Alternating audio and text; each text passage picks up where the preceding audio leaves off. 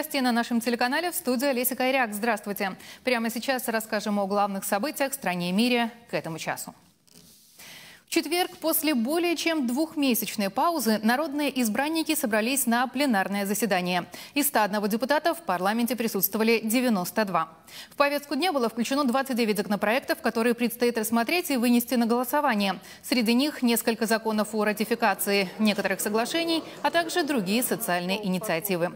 В начале заседания лидер ДПМ Павел Филипп объявил, что его партия выходит из коалиционного большинства в парламенте и, соответственно, уходит из власти.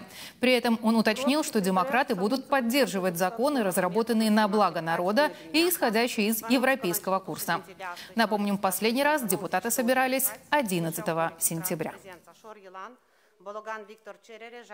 Серджио Сырбу на сегодняшнем заседании парламента официально объявил решение шести депутатов выйти из группы «Про Молдова» и создание платформы «За Молдову». В ее состав в том числе входят 9 депутатов партии «Шор». В то же время в политформировании уточнили, что присоединение к парламентской платформе «За Молдову» не означает исчезновение фракции политической партии «Шор», а объединение усилий для принятия законопроектов в интересах граждан. Deputatul Sergiu Sârbu, unul din fondatorii platformei pentru Moldova, exclude o eventuală revenire la Pro-Moldova, ca răspuns la o aluzie făcută din partea liderului grupului Pro-Moldova. Просим прощения за технические накладки. Продолжим выпуск. Тем временем еще одно предвыборное обещание партии ШОР реализовано на национальном уровне. В сентябре политформирование зарегистрировало законопроект, согласно которому жители сел, разводящие домашний скот для собственных нужд, должны будут получать субсидии на каждое животное в отдельности. В среду правительство утвердило регламент, основанный на инициативе депутатов от партии ШОР. Решение правительства предусматривает предоставление прямых выплат из расчета на каждое животное, чтобы предотвратить постоянное сокращение поголовья скота, компенсировать высокие затраты на содержание и тяжелые условия труда для животноводов. Согласно документу, владельцы коров специализированных пород получат по 7 тысяч леев за каждое животное, владельцы коз и овец по 500 леев. Субсидии на племенных животных составят на 50% больше. Для этого из Национального фонда развития сельского хозяйству выделят почти 62 миллиона леев. В партии ШОР выразили удовлетворение тем, что правительство при разработке регламента взяло за основу законопроект политформирования. Молдавские производители картофеля жалуются, что им негде продавать свой урожай. Из-за пандемии упал спрос со стороны ресторанов и кафе, да и рядовые потребители стали покупать овощи меньше. Фермеры утверждают, что полки магазинов и прилавки на рынках заполнены импортным товаром, который предлагают по более низким ценам, чем молдавский. Раду Грусу много лет выращивает картофель на принадлежащих ему землях Селедовосара Криулянского района. Это один из крупнейших производителей в стране, продукция которого поставляется на рынки и в сети магазинов столицы. В этом году фермер получил хороший урожай пяти сортов картофеля со 100 гектаров, чему был очень рад. Но теперь не знает, кому и как продать урожай. Totuși este o lipsă foarte mare din partea consumatorilor. Отсутствие потребительского спроса. Важным фактором сбыта является сфера хорика, и, соответственно, нет таких продаж, как в предыдущие годы. У нас есть все шансы не продать картофель до следующего года. Другим фактором, препятствующим продаже молдавского картофеля, стало то, что местный рынок заполнил импорт. Привезенный товар продается по более низким ценам, чем местный, говорит Раду Гросу. Цена на импортируемый картофель примерно на 20% ниже, чем на местный товар. Они получают дополнительные субсидии, которые позволяют им продавать картофель по более низкой цене, которую мы не можем себе позволить. Фермер говорит, что в прошлом году в это время года ситуация была совершенно иной.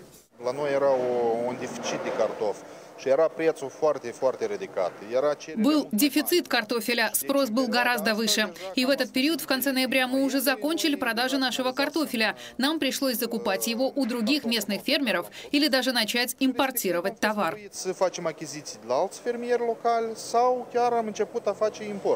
Чтобы помочь фермерам, власти должны наложить временный запрет на импорт картофеля или повысить таможенные пошлины, заявляют представители Ассоциации производителей картофеля. Слишком много импорта. Наши производители в убытке. Они вкладывают деньги в семена, в технологии, в хранение. И в итоге не могут реализовать картофель по 4-5 леев за килограмм, хотя это довольно неплохая цена. В свою очередь, Министерство сельского хозяйства заявляет, что они не могут запретить импорт этой культуры и что производители картофеля пока не сообщили властям о своих проблемах. Министерство не может вмешиваться в регулировку цен. Республика Молдова является членом международных торговых организаций, и в соответствии с соглашениями мы должны предоставлять равные условия реализации для всех. По статистике, житель Молдовы потребляет ежегодно около 110 килограммов картофеля. В этом году посевы картофеля заняли почти 23 тысячи гектаров, что почти на 5 тысяч больше, чем в 2019 -м. Данные Национального агентства по безопасности пищевых продуктов показывают, что в 2020 году наша республика импортировала почти 45 тысяч тонн картофеля, а в прошлом году более 51 тысячи тонн. Цена за килограмм картофеля составляет от 5 до 8 леев, тогда как в 2019 году она доходила даже до 20 леев за килограмм. Инспекция по охране окружающей среды полностью приостановила деятельность пункта по сбору металла, расположенного у въезда в Хинчешты. Решение было принято после проверок, которые показали, что компания работала незаконно.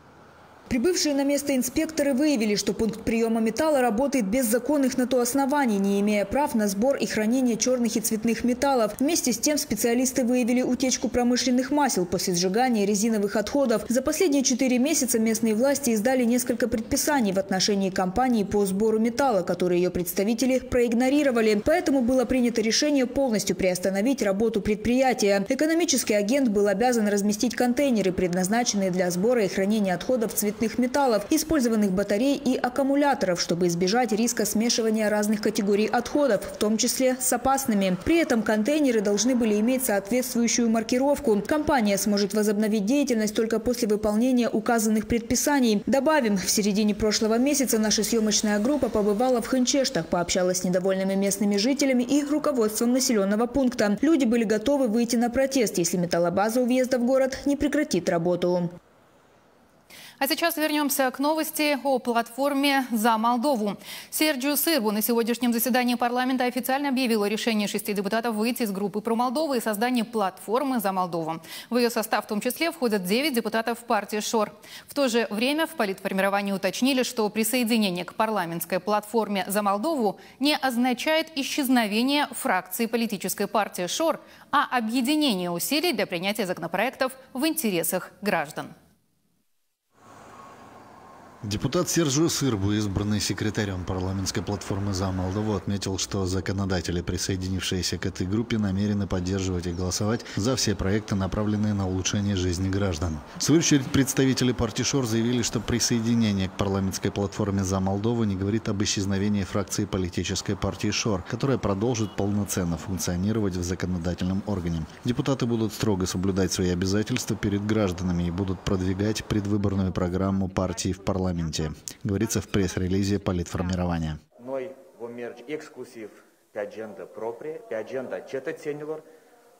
Мы будем работать исключительно для граждан. Мы будем голосовать только в интересах людей, хороших проектов для людей, для страны, и мы не допустим навешивания ярлыков, проверок или другого давления с чьей-либо стороны.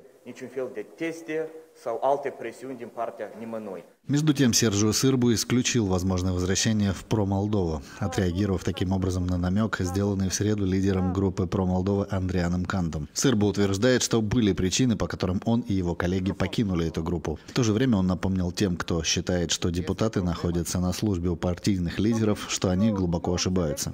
Majoritatea fondatorilor Partidului Pro-Moldova, cei care au stat la baza creării partidului, Большинство основателей партии «Про Молдова», те, кто стоял у истоков основания данной партии, ушли не для того, чтобы вернуться. Если ушли основатели, то причины, безусловно, были. Надеюсь, нам не придется раскрывать всю подноготную.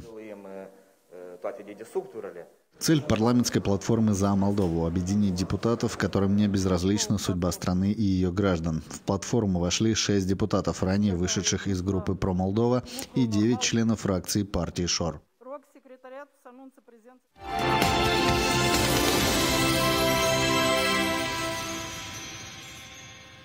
Перейдем к теме пандемии. Число скончавшихся от COVID-19 во всем мире достигло рекордные цифры – более 10 800 человек всего за 24 часа.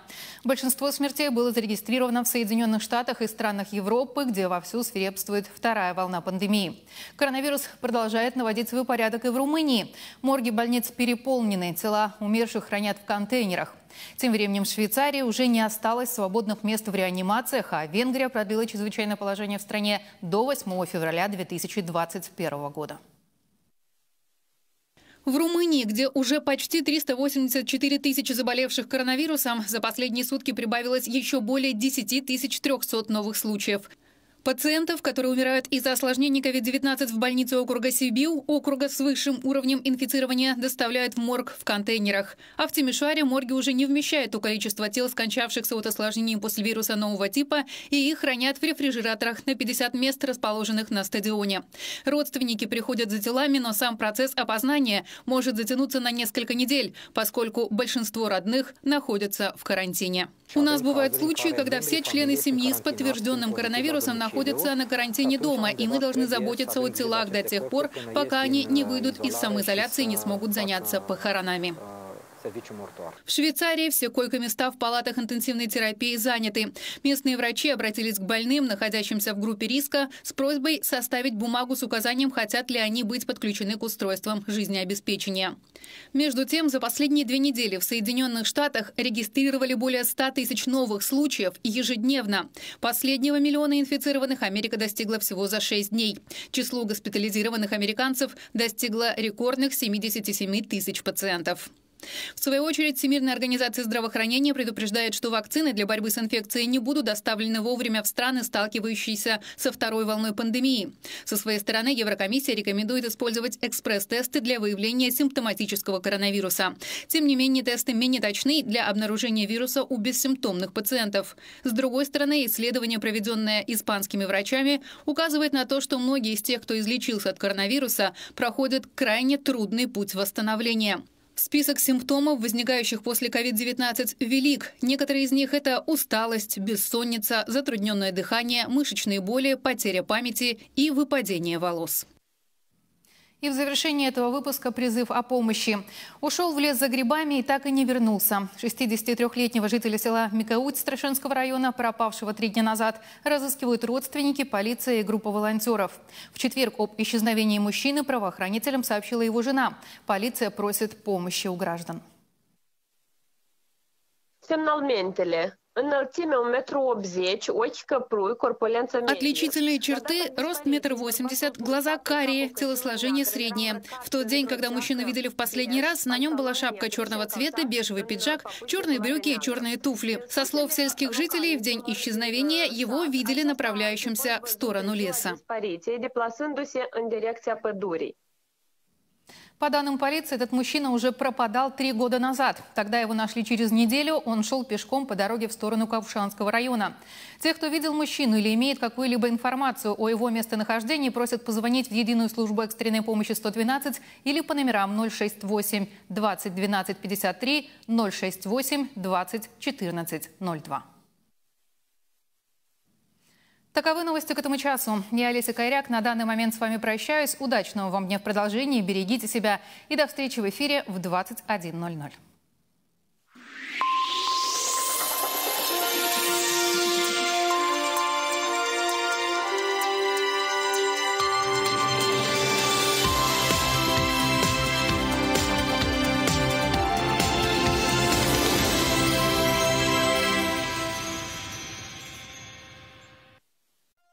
not just